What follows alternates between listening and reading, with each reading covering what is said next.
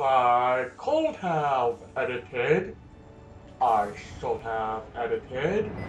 I was going to edit, but if I have to suffer, you have to suffer too. So yeah. We're going through this shit again. Deal with it, people. Deal with it. Yeah. And what does that trophy even mean? I don't know. I am, uh, even with games I like, I don't give a rat's ass about trophies. Um,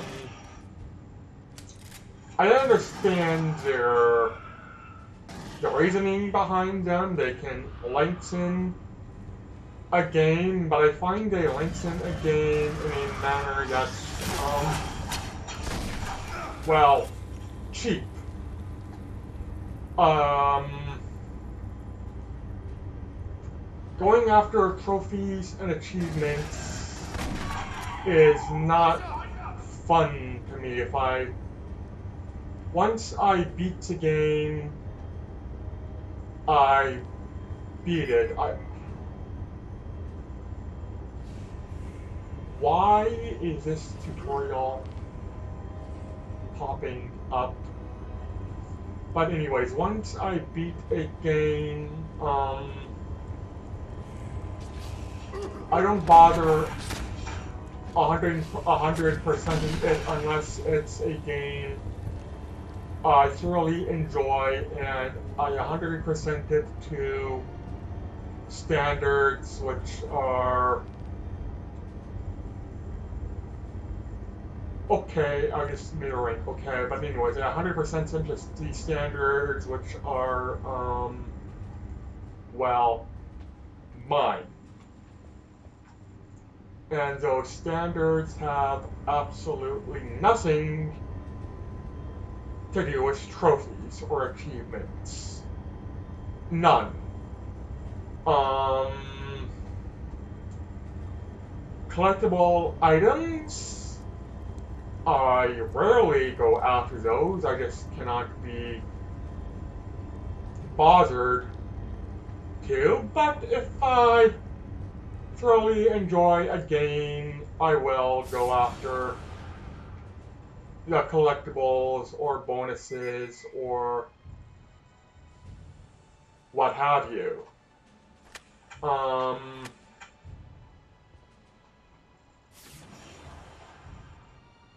that's um, pretty much the only game I've ever 100%ed is Grand Theft Auto San Andreas.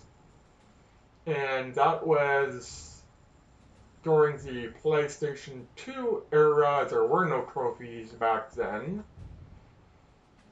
And I admit I used guides for that.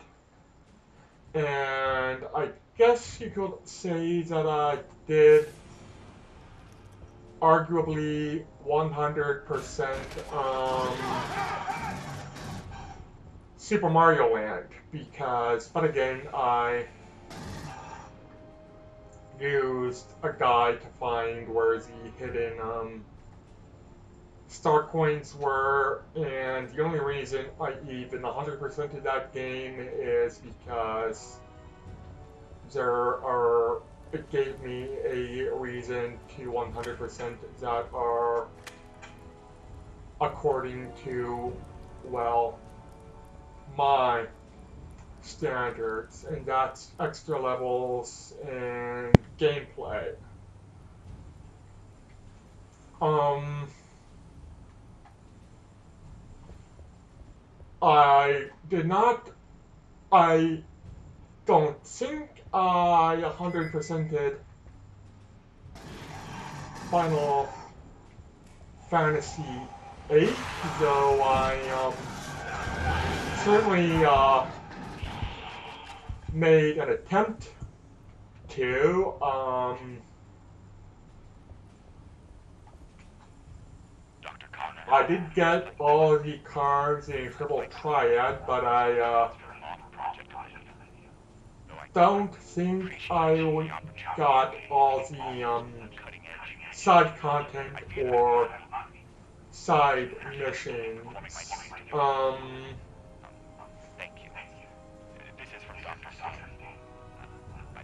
I just, uh, yeah. I can't be bothered to 100% games for the sake of completionist rankings or what have you. Uh, if I enjoy a game, I enjoy a game. If I replay a game, I replay a game. Excuse me. Um, trophies and achievements don't give me good enough reason to replay a game. Um, extra bonus content, legitimate bonus content, not skins, not weapons, but um, extra cutscenes, different endings, bonus levels. Those give me added reasons, legitimate reasons to replay a game multiple times or 100% it to the point of I got all the uh, cutscenes, I got all the dialogue, I got every ending. Um, I did not 100% dishonored in the way that people believe oh, Dishonored should be 100%ed, but I, um,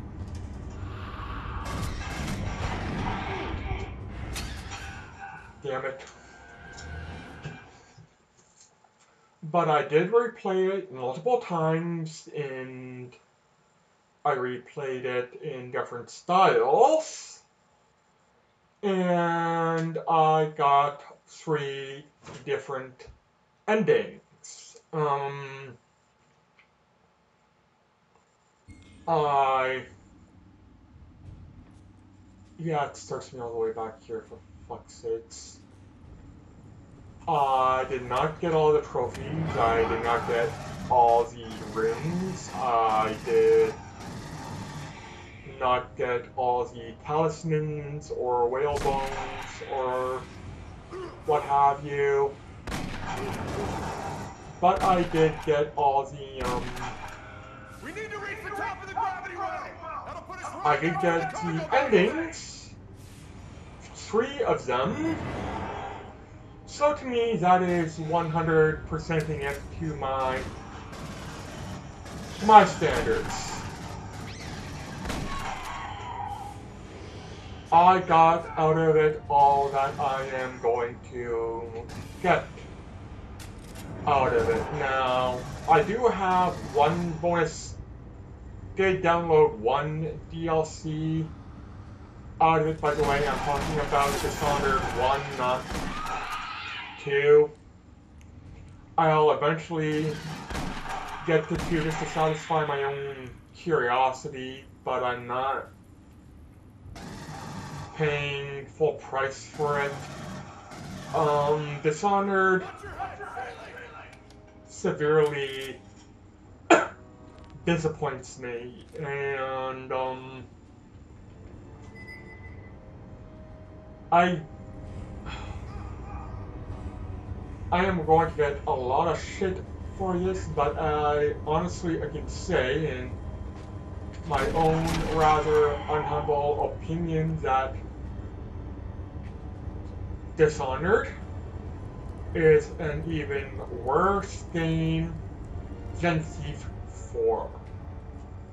And Thief 4 or Thief 4, Thief or whatever the heck you want to call it is an atrociously disappointment, an atrocious disappointment of a game. It's it's terrible. And it shall be played by everybody because it's Thief 4 is a game that people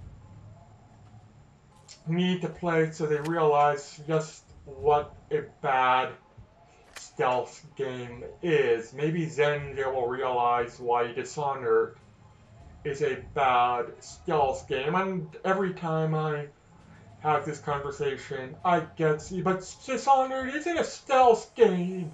It's a game you can play stealthily. Yeah, that's why it's a bad fucking game. Um, Bethesda, stick to Elder Scrolls and Fallout. You don't know what you're doing when it comes to making anything that is supposed to be be played stealthily. You have no idea what you're doing. You really don't. Um, people who bought Dishonored want expected to play it as though they're playing Thief or a Victorian steampunk hitman. They expected to play it like a stealth game. It's assumed to be played like a stealth game. It's it wants to play like a stealth game. It should have played like a stealth game. It's a failure as a stealth game. It just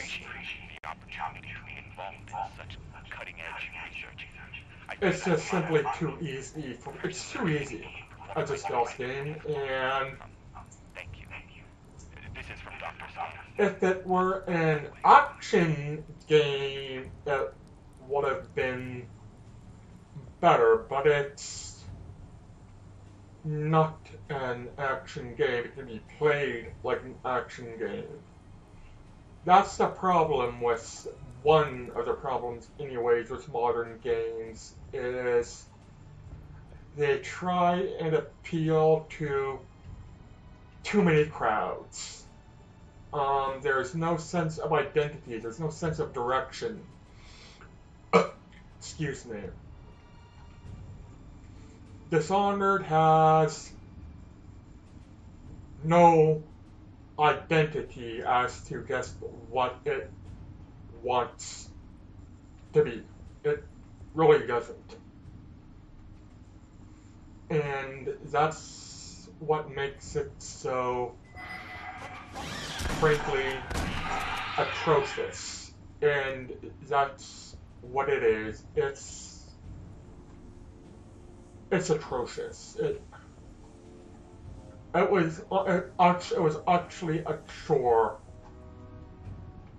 for me to play the first time. It honestly really truly was. It was it was frustrating for all the bad reasons, and I got to good endings the first time, despite the fact that I frankly shouldn't have. Um, there was one part in the game where like I had my chaos level to low all the time. I was sparing people. I wasn't going for a no kill run, so again, that's another way I did not 100% it. Uh, did not do a no kill run. But I killed the people. I killed the assassins. I killed the people I was meant to kill and saved or spared everybody else. Either knocked them out or snuck by them safe for one section where um, I was um, trying to uh, kidnap Sokolov. I was in his house. There was loot I wanted to get. I had no poison darts. I was and I just went, okay, fuck it. I killed everybody. And I was fully expecting, and frankly should have, had my chaos go from low to medium. Not necessarily high, but medium. I didn't. And I was thoroughly um, just confused and a little bit pissed because I I should have been punished. That's what it really boils down to. I should have been punished for playing so recklessly and not giving a damn about casualties, but I got nothing. And, um,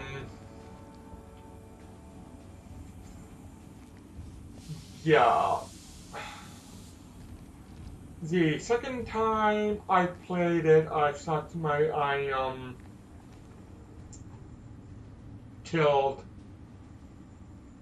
I wasn't a reckless killing machine, I was a silent murderer. Um, I killed everybody, no matter who they were, no matter what they were, who was in my way, save for innocent civilians who were um, not completely sick with the plague. And the game with me playing recklessly should have been harder for me to do. There should have been more bad guys, there should have been more violent, they should have been more hostile. It should have made the game significantly harder. It was so much easier. Just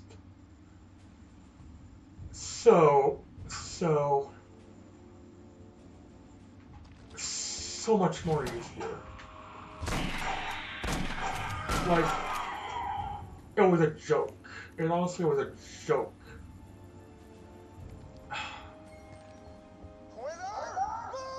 It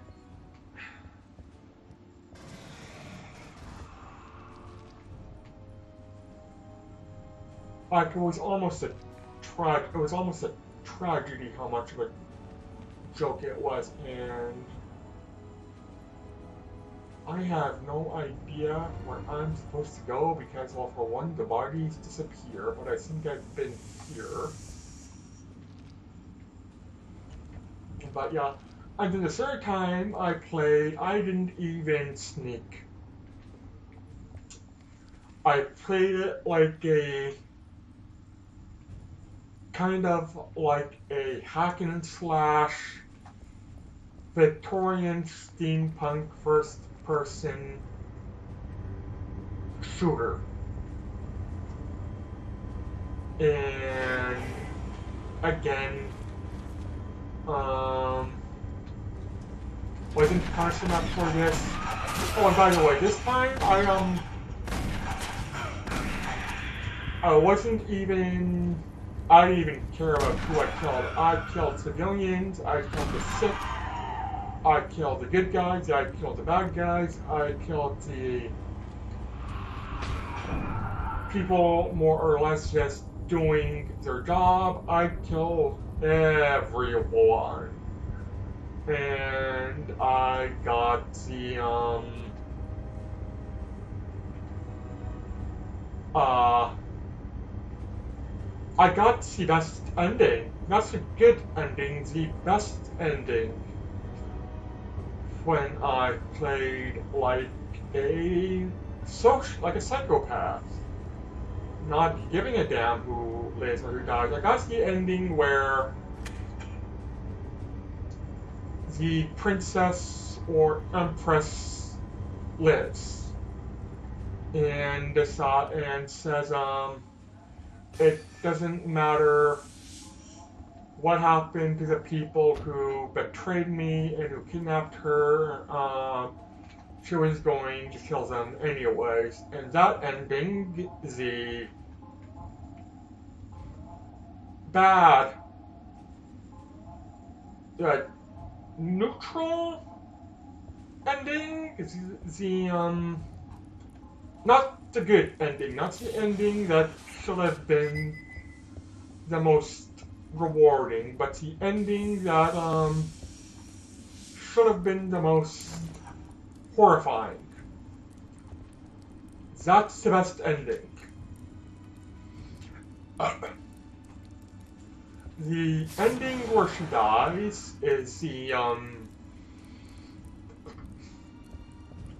bad ending, and um, as far as I'm con- as I'm concerned, the uh, funny ending because um the supernatural beast or well pretty much tells you that um this is what he was hoping for for the uh dynasty for the um, empire to eventually reach its inevitable demise, which um, he finds also amusing and entertaining, and it's certainly it's it's the pissy. It's the ending that sort of pissed me off, but I'm looking at this going, well,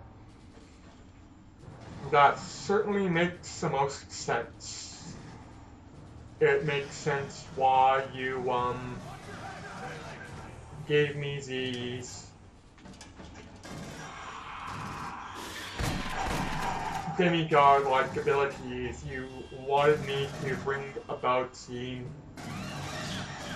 destruction of the empire and it's also it also explains why the um assassins who you are working against um also has demigod-like powers. Anyways, I died. I reached a checkpoint.